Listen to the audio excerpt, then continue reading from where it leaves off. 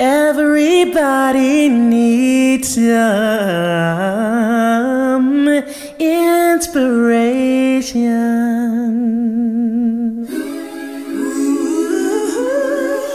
Today on Inspiration, setting healthy boundaries. We erect boundaries in the first place because, you know, we we are aware that everyone who wants to come into our yards and into our homes is not from the welcome committee bearing homemade pies and cakes and welcoming remarks.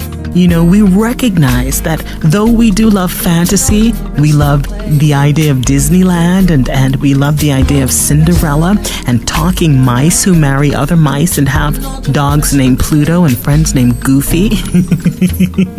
we do recognize that we do not live in a fantastical world we live in a world where there are people who do not have honorable intentions. And for that reason, we must protect ourselves. Inspire us to think a little higher. Believe and dream beyond here. Inspiration. Welcome to Inspiration, a boost of hope and encouragement for daily living. I'm Anastasia. As always, thank you so much for joining me today as I address a very, very crucial issue that everybody needs to consider setting healthy boundaries. Every healthy relationship requires healthy individuals. And every healthy individual has strong boundaries in their business and personal relationships. A boundary, or like they call it in psychology, a territorial bubble, is a line drawn between the sacred and the common. And the line or the boundary separates the two. It says to others, You can come here, but you can't come here. Boundaries are important defense mechanisms that we use to shield ourselves against harm, danger, or even the slightest irritation. They are also tools that we use to teach people what we like and what we don't like. Boundaries can be as frivolous as, I like my coffee with double cream, or as serious as, I don't like to be touched in that way or spoken to in that way and communicating your boundaries educates those you interact with how you wish to be interacted with. And setting boundaries isn't just a good idea, it's really a responsibility. And it is a right and a privilege. You have the right, the privilege, and responsibility to protect your borders, the borders of your personal space, of your personal being. You have a right not to allow everyone who wants to invade your territory to just invade it. You have a right to say, no, I, I, I, want, I want you here, but I don't want you here. Or I want you here for this amount of time, and then I want you gone after that. You, that, that is your God given right. And we boldly communicate our boundaries when we construct our homes, don't we? We erect beautiful little gates and walls and picket fences, which we place around the perimeter of our homes to ensure that neighbors do not cross our boundaries and invade our privacy and rights. And in the same way, personal boundaries over your life must be carefully constructed and communicated. We erect boundaries in the first place because, you know, we we are aware that Everyone who wants to come into our yards and into our homes is not from the welcome committee bearing homemade pies and cakes and welcoming remarks. You know, we recognize that though we do love fantasy, we love the idea of Disneyland and, and we love the idea of Cinderella and talking mice who marry other mice and have dogs named Pluto and friends named Goofy. we do recognize that we do not live in a fantastical world. We live in a world where there are people who do not have honorable intentions. And for that reason, we must protect ourselves. And so we set boundaries because some people will break in and steal and defile the sanctity of our homes if we don't. And the boundary is the warning. It's a warning that crossing the line without permission will result in things not working well for the person who crosses it. That's why boundaries are so important. You know, we are very, very protective of our land and our property, you know, and I think we, we almost do it subconsciously. It, it just goes, to, goes hand in hand. You build a house, you build a wall and a fence. But we are sometimes not as measured in erecting personal boundaries around our lives. Have you found that to be the case in your life? I, I know that I certainly have found that to be the case in my own. But healthy boundaries are particularly important when you have a lot to offer. Have you have you found that when you have a lot to offer? So gates, fences and walls become more elaborate, thick and harder to invade in neighborhoods where real estate is prime and there's a, there's a lot at stake. Such homeowners often hire security companies to stand guard in addition to erecting walls and fences, which make access extremely challenging. And in the same way, when you have a lot to offer, you're a very gifted person, you can do a lot of things very well, you have a lot of wisdom. Um, whatever it is, a lot of people will have a desire to be a part of your life. Perhaps it's that you're really attractive, you're really good looking. And, and these people will want to get close to you. They will want to fraternize with you and rub shoulders with you, seeking their heart's desire, whatever that may be. And it is important to know that though you may have a lot to offer, you cannot offer it to everyone. And for, for those who do not make the list, there must be firm boundaries. We're talking today about setting healthy boundaries. You need them in your life.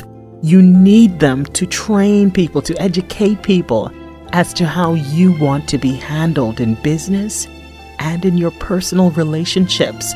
So you must restrict access. This is where healthy boundaries play their greatest role.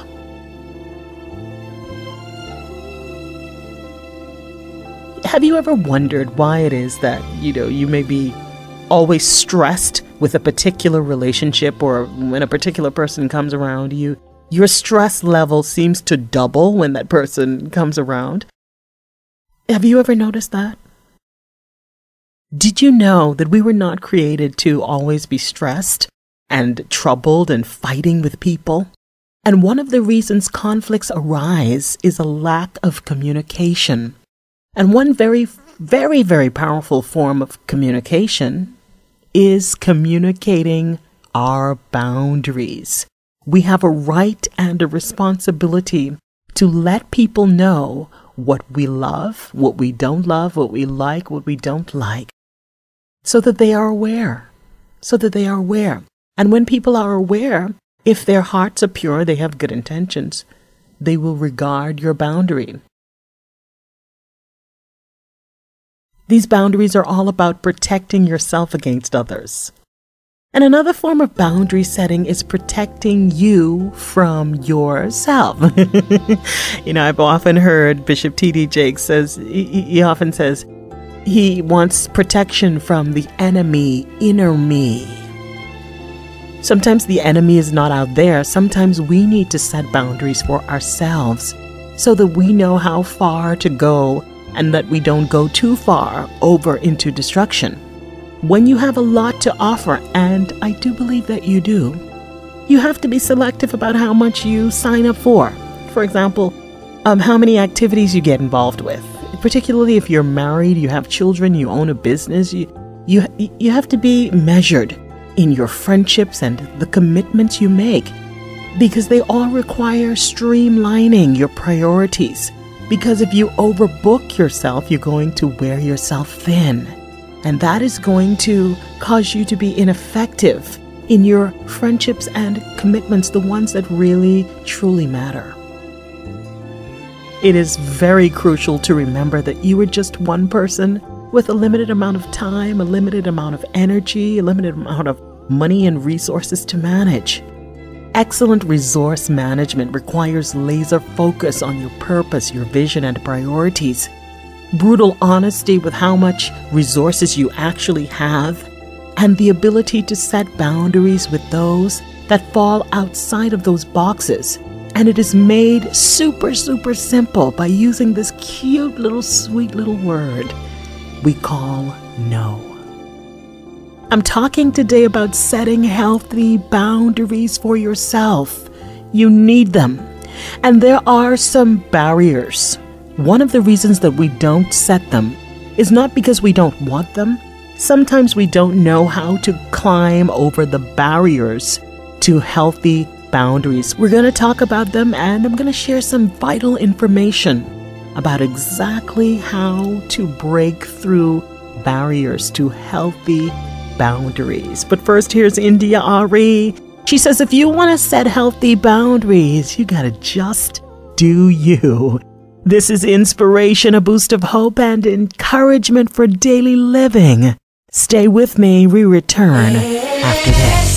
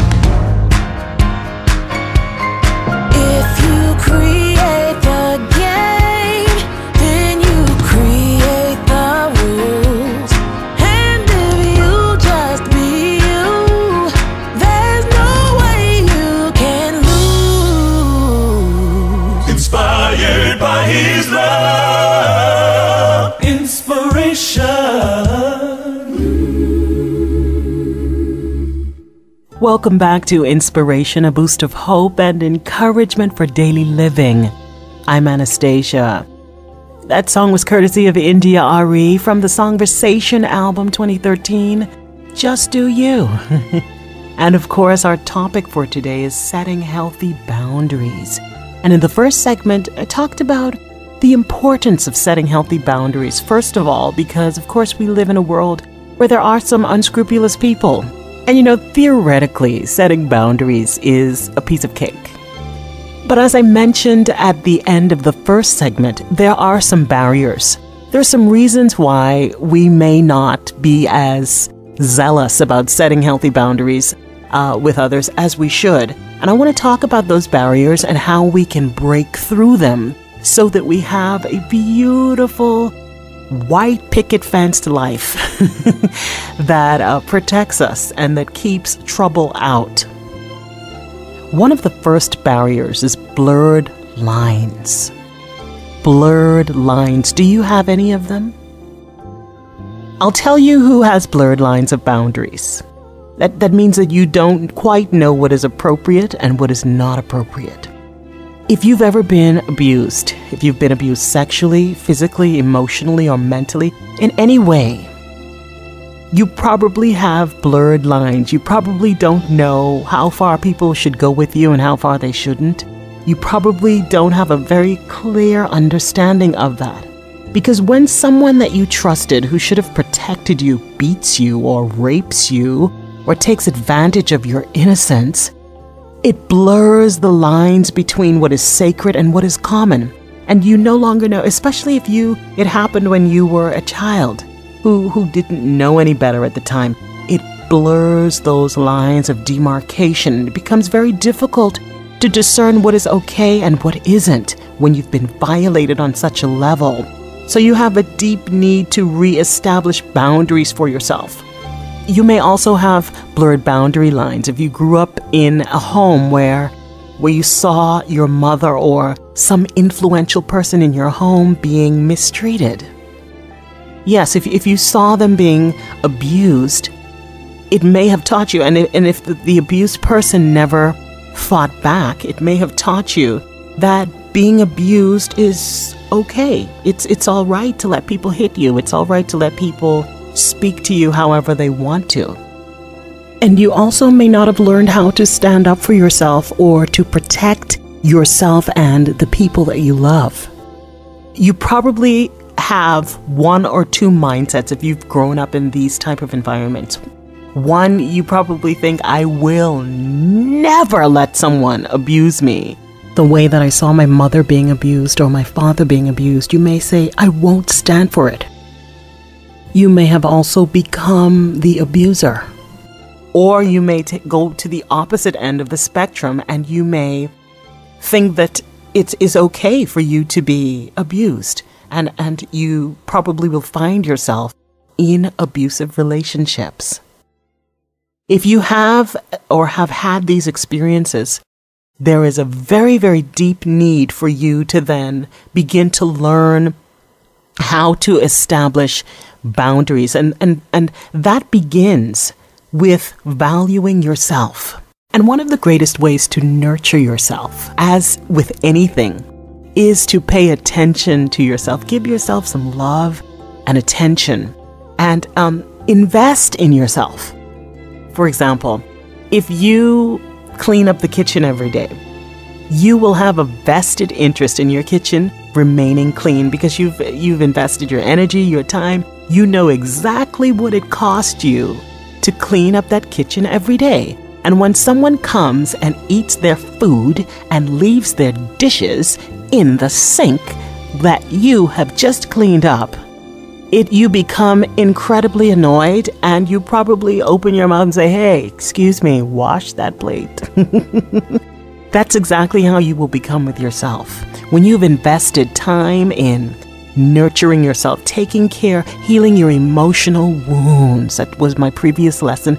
Take a listen to that if you need to, to heal your emotional wounds. You need to pay attention to your spirit, nurture your physical body, exercise, pray, uh, meditate, do yoga, whatever you need, whatever works for you.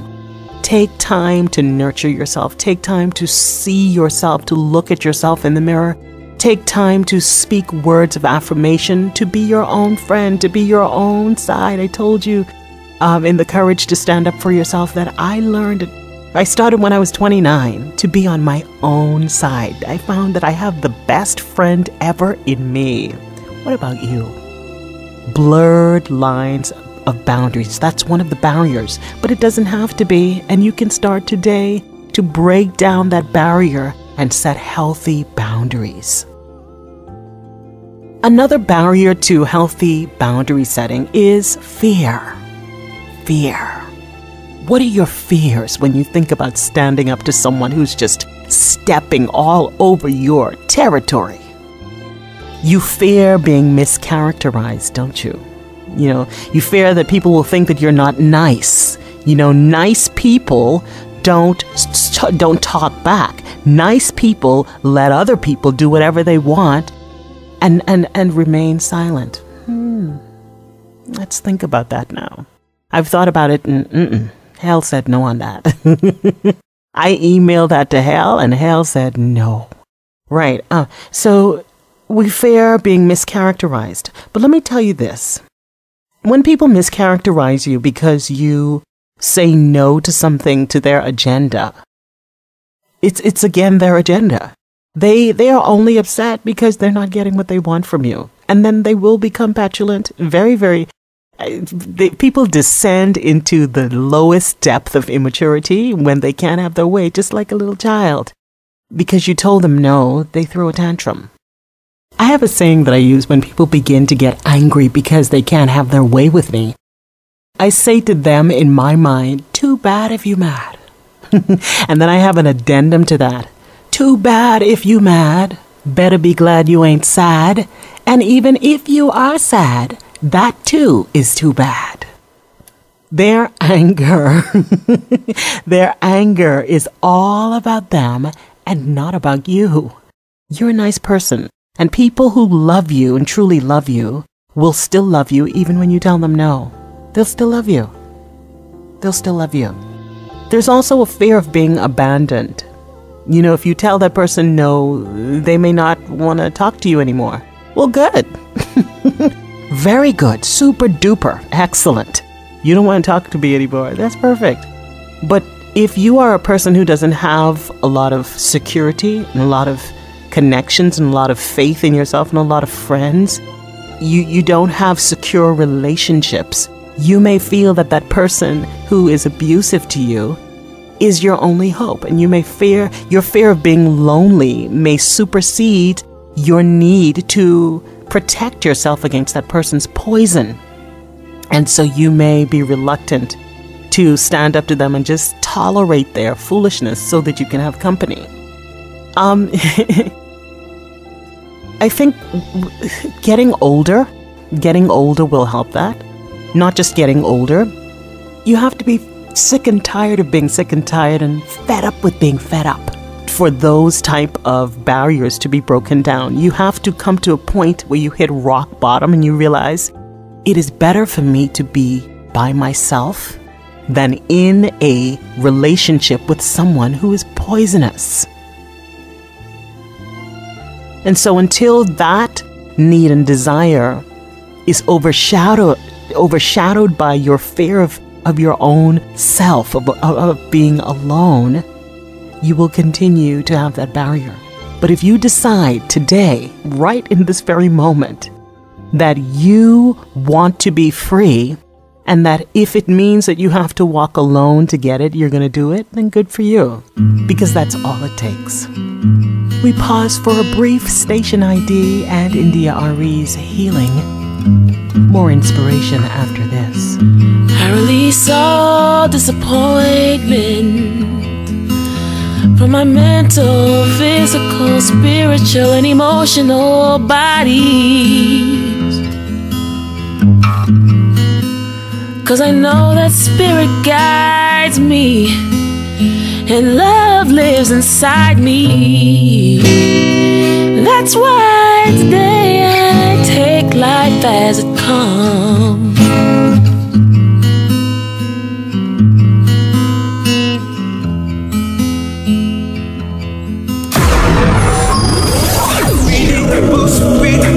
Jump start. We need a hero. That's the kind of motivation only you can give. Help us to look up and to live. Inspiration. This is Inspiration, a boost of hope and encouragement for daily living. I'm Anastasia. Today I'm talking about setting healthy boundaries and the barriers to that process, which include blurred boundary lines. And another very tall barrier to the process of boundary setting is wrongly held beliefs. You know, those beliefs that limit your power and perception of yourself, which in turn imprisons you. Because let's think about it if truth sets us free, then believing lies imprisons us. And there are a lot of little lies that we feed ourselves and that we allow other people to feed us that we accept as truth. One of those such lies is that if a man truly loves you, that he will beat you. There are a lot of women who believe that, and an increasingly large and alarming amount of young girls who feel that way. But it just simply isn't true. If someone loves you, they always act in your best interest. There is nobody who loves you. I mean, just think about someone that you know for sure loves you, like your mom or your dad or your, your spouse don't you know that that person loves you because of the way that they always act in your best interest? They always do things that build you up instead of tearing you down. That's what love does. Love is not abusive, not not love, not the kind of love anyway that you would want to have in your life. There is also a wrongly held belief. A lot of men have this idea about women that if you want a fine woman, you have to have a nice car and you have to have a lot of money and you have to buy her a lot of stuff or she won't want you. And while I, I do admit that there are some women who do feel that way, I don't think that there's any fine woman who does. It really depends on what you define, how you define the word fine. Because a real woman doesn't just want a man for what he can give her.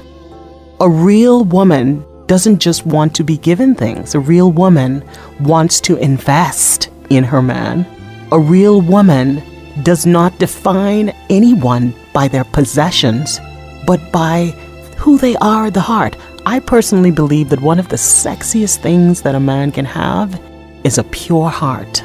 One of the most attractive things about a man is his faithfulness. A man who is able and willing to love one woman for life. To me, oh, that's sexy.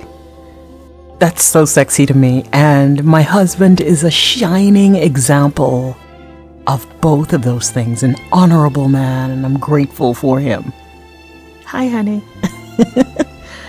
a fine woman, a truly fine woman, will accept you just as you are, and she will help you to become the person that you are inside. And it also depends on the stage in life that the woman is at. A younger woman may be willing to work with you. An older woman may have already done that, been there, done that. She probably just wants to enjoy her life. But it is not true that you have to buy a woman things to for her to love you. That's called a gold digger. That's not a fine woman. I don't care how she looks. A fine woman doesn't do that.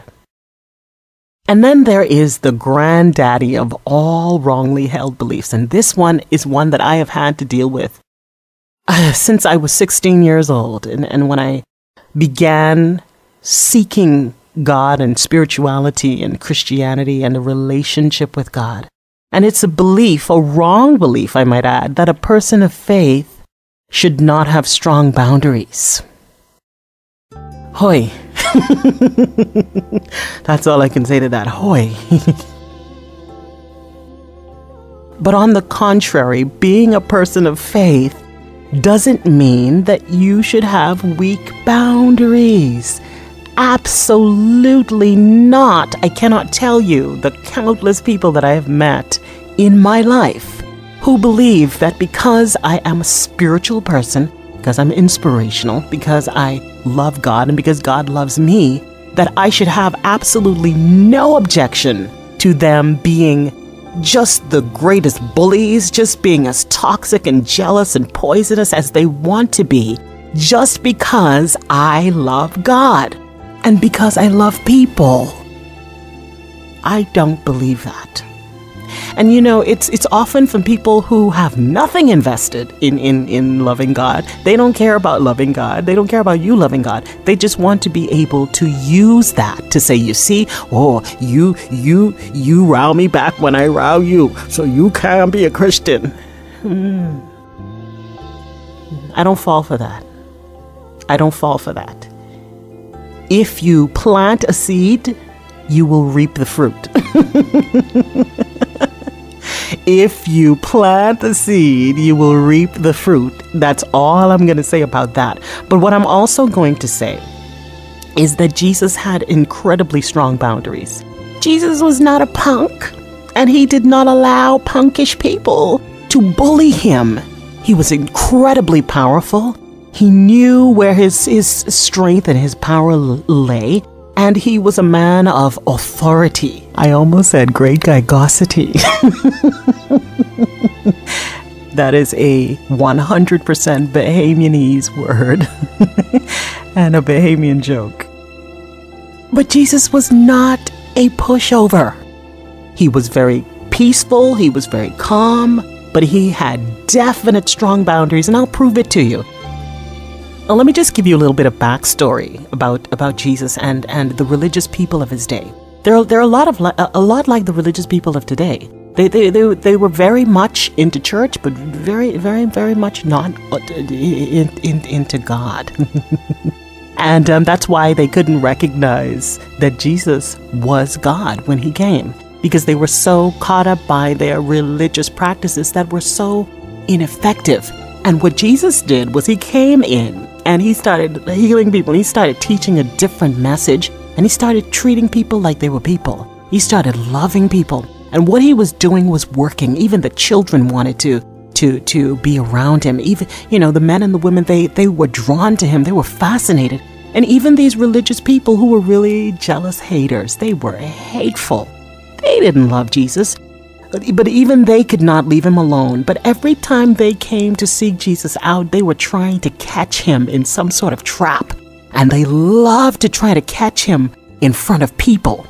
Don't don't haters do that best? D- I'm going to be doing a lesson on haters, by the way, as well. How to deal with haters coming up. So you get keep listening. But but don't haters do that? They love to do what they do in public to really to really make it sting, don't they? But Jesus always had the remedy, and, and it is just perfectly portrayed in the scripture. Just allow me to read this small passage from the book of Luke, chapter 20. And I love the way that the King J- James Version words it because it's so poetic. But, but just listen to this, listen to this, and then I'll break it down for you. It says, And it came to pass that on one of those days, as he taught the people in the temple and preached the gospel, the chief priests and scribes came upon him with the elders. I love how it says that they came upon him like they were sneaking. and spake unto him, saying, mm, Tell us by what authority doest thou these things? Or who is he that gave thee this authority? And he answered and said unto them, I will also ask you one thing, and answer me. The baptism of John, was it from heaven or of men? And they reasoned with themselves, saying, If we shall say from heaven, he will say, Why then believed ye him not? But and if we say of men, all the people will stone us, for they be persuaded that John was a prophet. Do you see how calculating they were? They always had to try and find a strategy to shut Jesus down. And they answered that they could not tell whence it was. And Jesus said unto them, Neither tell I you by what authority I do these things. and, and, and this is the most beautiful part of this whole story is the conclusion. It says, Then began he to speak to the people this parable.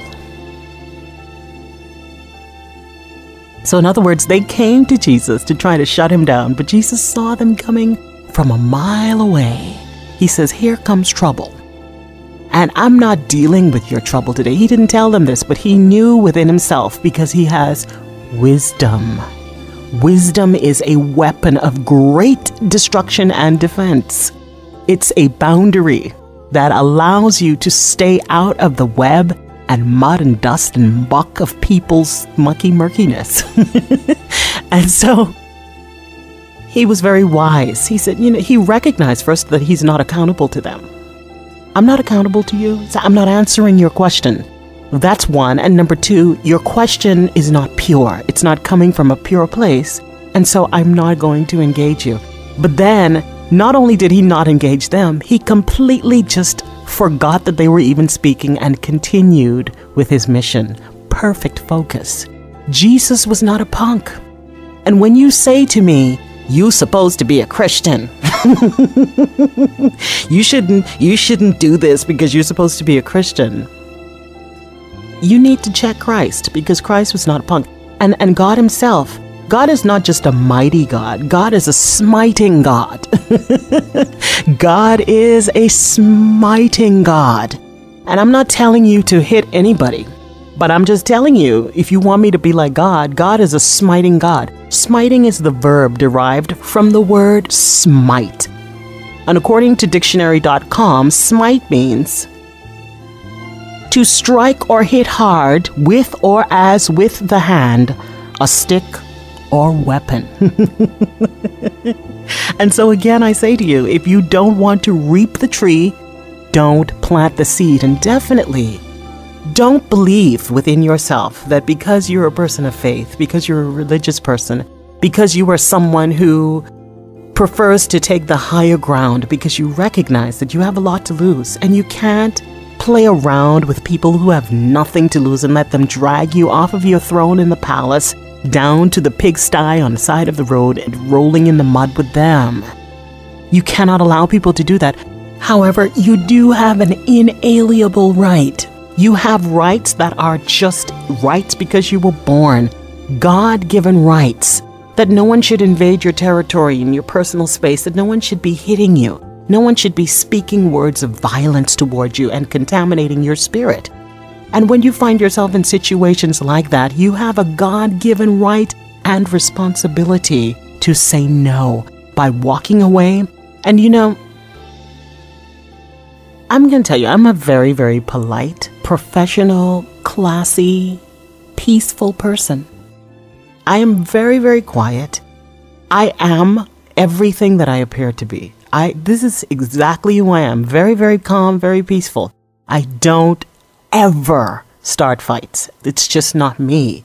And um, even at this stage in my life, I've never been in a physical altercation ever in my life, not even as a child. I've never been in a physical fight, ever, ever, ever, ever. You know, but I do recognize that there are some people who live in this world whose the juices in their brains, those juices don't percolate all of the time. And I've met a couple of them. When people are desperate, they can do desperate things. And I do believe, you know, that even though it is you need to be governed by higher principles and take the high road which i always subscribe to and which i always take. I am still prepared if my husband happens not to be around at a, at a given moment to pull out my lakeisha bonquisha manisha from the ghetto I have her on reserve because I do recognize that there may come a time where I need to summon Lakeisha to the foreground to fight for my life. I may have to do that. And if I have to do that, I intend to win. What about you? Setting healthy boundaries is protecting yourself and those things that are sacred from unscrupulous people.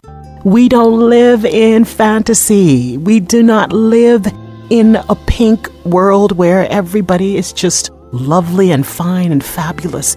We live in a place where if you don't stop people, they will go too far with you.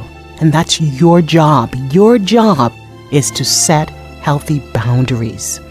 And one of the greatest ways to do that is to communicate, to talk. Let people know, I don't like when you do this or when you say this. Please don't do that with me. And give them some time to change because sometimes if people have been in a habit of doing things, it's hard to just break it.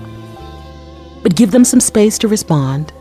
And, and, and when they when a person loves you, even though they may be a little bit broken, they're wounded, they may they'll still try to change if they love you.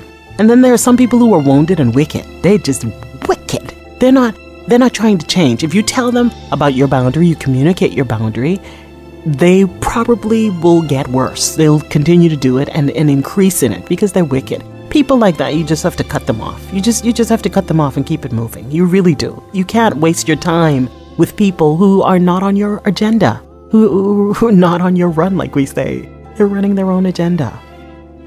A wounded person who responds to your requests to stop doing certain things or stop bringing certain things to you or stop treating you in a certain way, that, that person loves you. A wicked person, they just, they need, they need a they, they, they need Jesus. And, and sometimes they may need to get smitten across the face or wherever, across the back.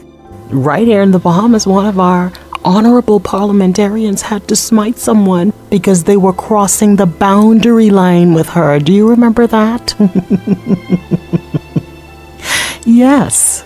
You know, some people don't some people don't respond to rhyme and reason. They said, uh, uh, uh, what did they say? you you know, you need a rod for the backs of fools. Okay, but but but I would suggest just leave people when they are that toxic, just leave them alone. Leave them alone. Today is all about learning how to set perfectly healthy boundaries for yourself, to protect your children, to protect your family, to protect your business, to protect your home, so that you're not invaded. Just as you put up the security windows and the walls and the gates and the fences, you have to place them around your life. And let me tell you how you will know that you really need to start placing a boundary. If you feel drained mm-hmm, by someone's presence, if you feel like every time you talk to them, when you're done, you feel like you've been shot full of poison, oh. if you feel worn out or dread a call or a visit, you're not answering the phone because you don't want to speak to that particular individual, chances are that you simply need to take some time to set. You don't have to run. Run for what? Run, run for what? you know, you don't have to run.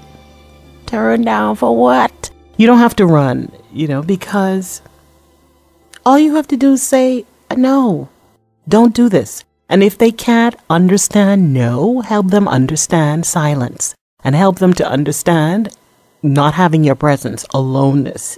You have to do that and you have to be incredibly radical because there are some radically ridiculous people out there. You have to get to ratchet up your radicality. I don't know if radicality is a word, but I just know. You have to ratchet up how radical you become based on how radical they are. The more radical, you have to get double their radical. You have to double it because you have to you have to remain in a place where you can be focused to accomplish the things that truly matter. Setting healthy boundaries. I hope that you are inspired to start doing so today. It's been beautiful talking to you.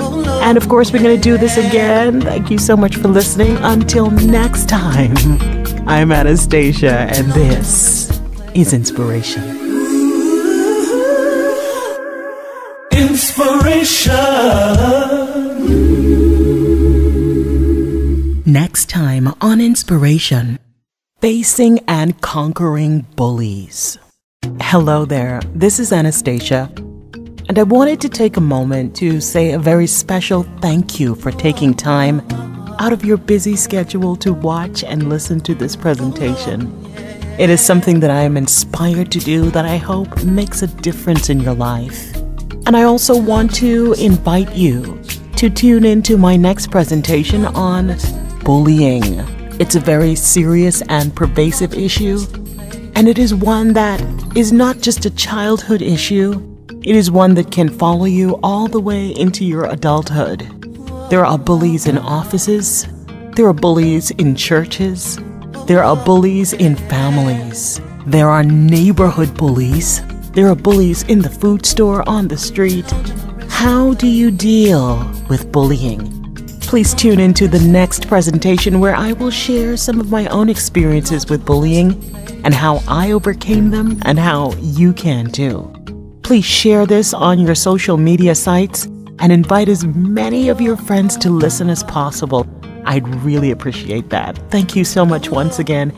Until next time. Inspired by his love. Inspiration.